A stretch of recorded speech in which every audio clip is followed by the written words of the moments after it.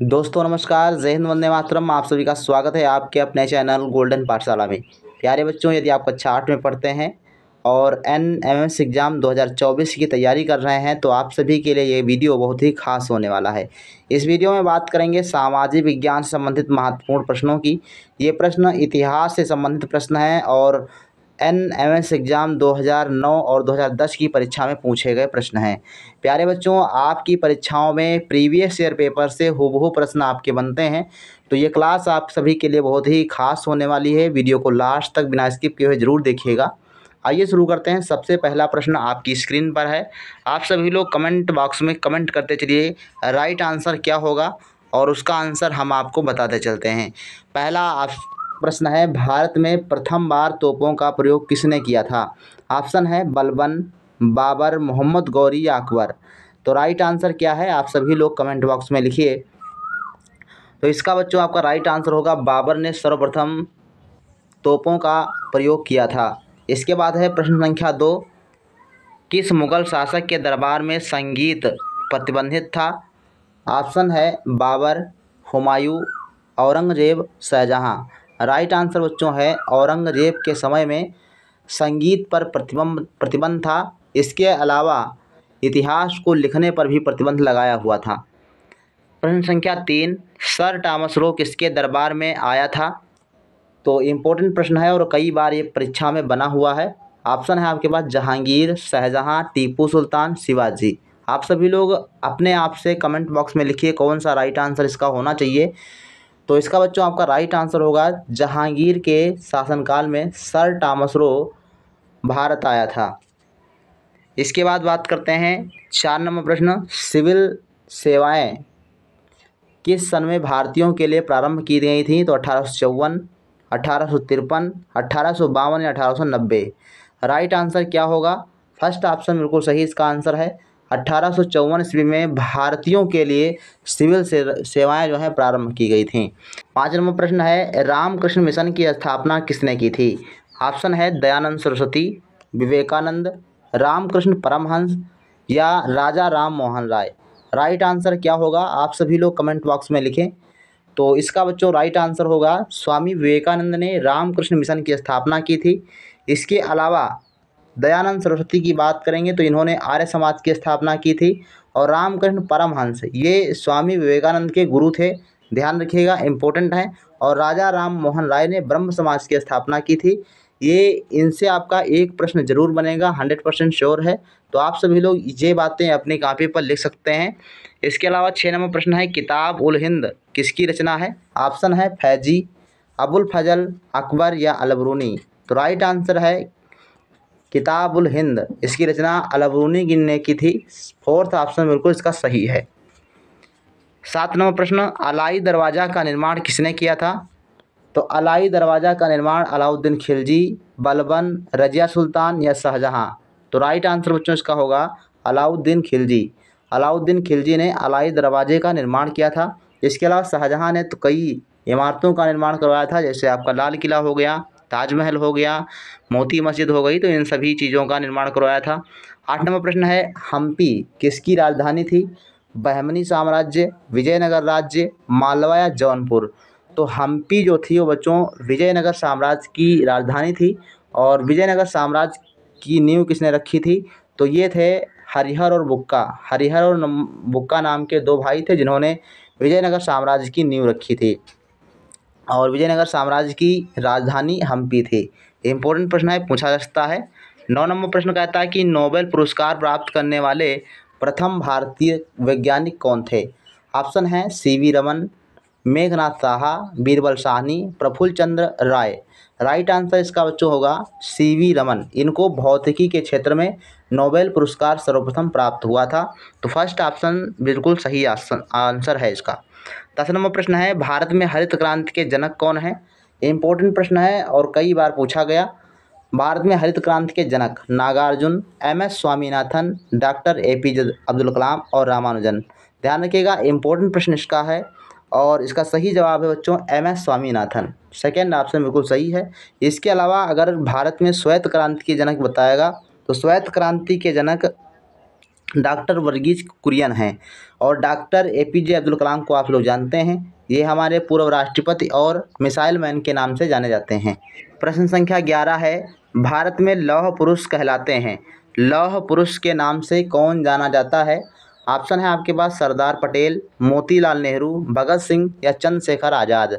तो सही जवाब आप सभी को पता होगा आंसर है फ़र्स्ट ऑप्शन, सरदार पटेल को लौह पुरुष के नाम से जाना जाता है। इसके अलावा भगत सिंह को शहीद आज़म कहा जाता है। शहीद आज़म, भगत सिंह को और चंद्रशेखर आज़ाद को आज़ाद तो कहा ही जाता था। ठीक, ध्यान रखिएगा इंपॉर्टेंट है, यहाँ से प्रश्न आपके बन सकते हैं। बारह नंबर प्रश्न कहता है कि निम्नलिखित कथनों पर विचार कीजिए तथा सही विकल्प चुनिए।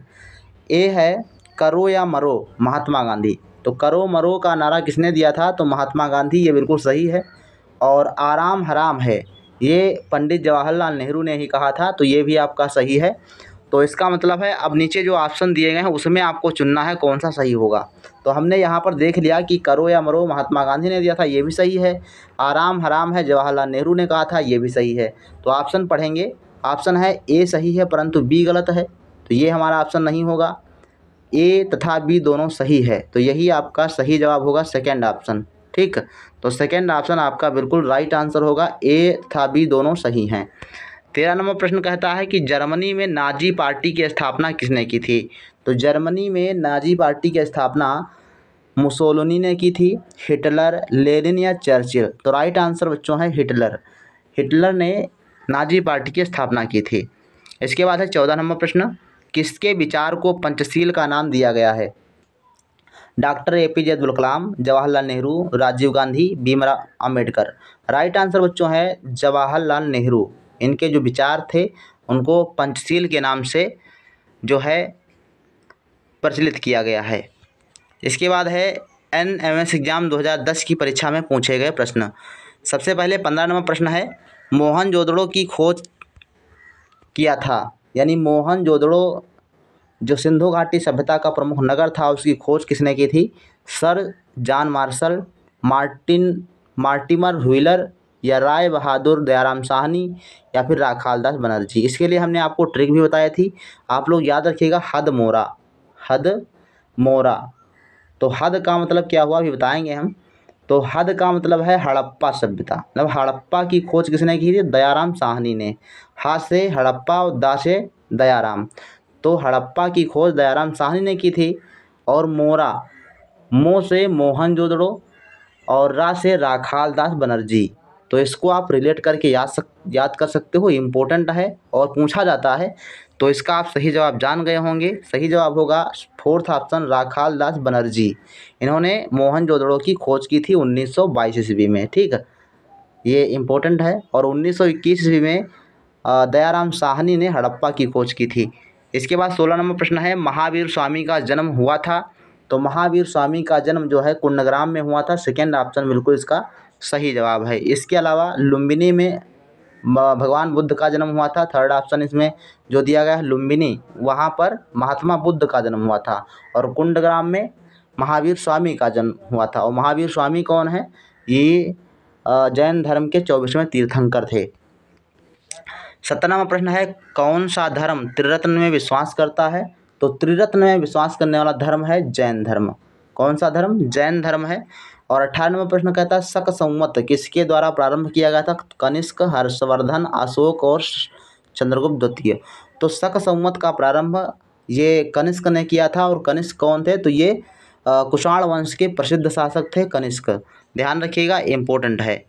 उन्नीसवें प्रश्न है, निम्नलिखित में से कौन मध्यकालीन भारत की प्रथम महिला शासिका थी?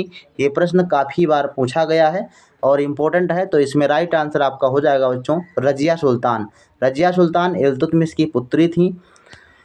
इसके बाद है प्रश्न संख्या बीस, निम्नलिखित में से कौन सुमेलित नहीं है? तो कौन सा सुमेलित नहीं है? फ़र्स्ट ऑप्शन है ताजमहल शाहजहाँ ने बनवाया था, बिल्कुल सही है। बुलंद दरवाज़ा अकबर ने बनवाया था, बिल्कुल सही है। और अलाई दरवाजे का निर्माण अलाउद्दीन खिलजी ने करवाया था, ये भी आपका सही है। तो राइट आंसर कौन सा होगा? ये आपका थर्ड ऑप्शन सुमेलित नहीं है। लाल किला औरंगज़ेब ने नहीं, बल्कि शाहजहाँ ने बनवाया था तो यही आपका सुमेलित नहीं है। इसलिए आंसर आपका थर्ड ऑप्शन होगा। इक्कीस नंबर प्रश्न कहता है कि यूरोप, किसने यूरोप से भारत के बीच पहली बार सीधे समुद्री मार्ग की खोज की थी? Vasco da Gama Almeida Albuquerque Bartholomew या डियाज। राइट आंसर कौन सा है बच्चों? राइट आंसर है आपका वास्को डिगामा जो चौदह सौ अट्ठानबे ईस्वी में भारत में पहली बार कालीकट बंदरगाह पर उतरा था। इसके बाद प्रश्न संख्या बाईस, बक्सर का युद्ध लड़ा गया था। तो बक्सर का युद्ध कब लड़ा गया था? उन्नीस, सत्रह सौ चौंसठ में। इसका थर्ड ऑप्शन बिल्कुल सही है। सत्रह सौ चौंसठ में बक्सर का युद्ध लड़ा गया था। तेईस नंबर प्रश्न है अट्ठारह सौ पचासी ईस्वी में इंडियन नेशनल कांग्रेस का अध्यक्ष था। ऑप्शन है George Yule, Dadabhai Naoroji, W C Banerjee, W Wedderburn right answer है W C Banerjee. Third option बिल्कुल सही होगा अट्ठारह में कांग्रेस के अध्यक्ष थे। चौबीस नंबर प्रश्न है, पूर्ण स्वराज प्राप्ति की घोषणा भारतीय राष्ट्रीय कांग्रेस ने कब की थी? पूर्ण स्वराज की मांग लाहौर अधिवेशन उन्नीस सौ उनतीस में। तीन नंबर प्रश्न, तीन नंबर ऑप्शन आपका सही है। उन्नीस सौ उनतीस में लाहौर में अधिवेशन होता है, जिसकी अध्यक्षता पंडित जवाहरलाल नेहरू करते हैं और उसमें पूर्ण स्वराज की मांग की जाती है। तो ध्यान रखिएगा थर्ड ऑप्शन इसका बिल्कुल सही है। उन्नीस सौ उनतीस में पूर्ण स्वराज की मांग की जाती है भारतीय राष्ट्रीय कांग्रेस के द्वारा। पच्चीस नंबर प्रश्न है, सहायक संधि स्वीकार करने वाला प्रथम राज्य कौन सा था? तो सहायक संधि सबसे पहले ध्यान देते हैं कि सहायक संधि किसने चलाई थी? तो लॉर्ड वेलेजली थे। कौन थे? लॉर्ड वेलेजली, जिन्होंने सहायक संधि जो है के तहत राज्यों को अपने ब्रिटिश साम्राज्य में मिलाने का काम किया था।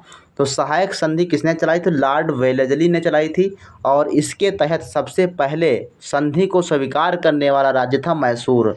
सेकेंड ऑप्शन इसका बिल्कुल सही हो जाएगा। इसके अलावा, हड़प नीति किसने अपनाई थी? ये सभी लोग कमेंट बॉक्स में लिखिएगा। हड़प नीति किस ने चलाई थी? ये आप लोगों को कमेंट बॉक्स में लिखना है। छब्बीस नंबर प्रश्न है, भारत में प्रथम बार रेल का रेल लाइन का निर्माण किन नगरों के बीच हुआ था? तो इसका बच्चों सही जवाब है मुंबई और थाड़े के बीच में। सेकेंड ऑप्शन बिल्कुल इसका सही है। सत्ताईस नंबर प्रश्न है, आज़ाद हिंद फौज का गठन कब हुआ था? तो इसका बच्चों सही जवाब कौन सा होगा, आप सभी लोग कमेंट बॉक्स में ज़रूर लिखिए। फ़र्स्ट ऑप्शन है उन्नीस सेकेंड ऑप्शन उन्नीस सौ चालीस, थर्ड ऑप्शन उन्नीस सौ बयालीस और फोर्थ ऑप्शन है उन्नीस सौ छियालीस। तो राइट आंसर बच्चों इसका हो जाएगा उन्नीस ईस्वी में आज़ाद हिंद फौज की स्थापना किसने की थी? तो सुभाष चंद्र बोस। सुभाष चंद्र बोस ने उन्नीस सौ बयालीस में आज़ाद हिंद फौज की स्थापना की थी। इम्पोर्टेंट प्रश्न है और पूछा भी जा सकता है। तो सभी लोग वीडियो को अपने दोस्तों के साथ ज़रूर शेयर करना ताकि उनको भी फ़ायदा हो सके और वो भी अपनी तैयारी सुचारू रूप से चला सकें और हमारे चैनल के माध्यम से आप बता सकते हैं। और इसी प्रकार से और वीडियो देखने के लिए हमारे चैनल को सब्सक्राइब करें। साथ ही बेल आइकन को ज़रूर प्रेस कर लें ताकि कोई भी वीडियो आपसे मिस ना हो। इसके बाद हम बात करेंगे अगली वीडियो में 2012 और 2013 की परीक्षा में पूछे गए प्रश्नों की। तो मिलते हैं नेक्स्ट वीडियो में, तब तक के लिए धन्यवाद।